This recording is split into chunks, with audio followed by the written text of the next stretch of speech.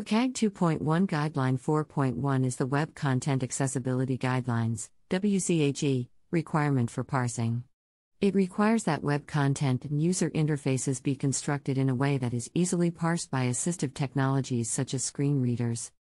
Suppose a website has a form with multiple fields, including a date of birth field. If the date of birth is displayed in an unusual format, such as mm/dd/yai, a screen reader may have difficulty parsing the information and conveying it to the user. To meet the requirements of WCAG 2.1 Guideline 4.1, the date of birth field should be formatted in a way that is easily understood by both users and assistive technologies, such as using the format month day, year. This will ensure that the information is easily parsable and accessible to all users, including those with disabilities.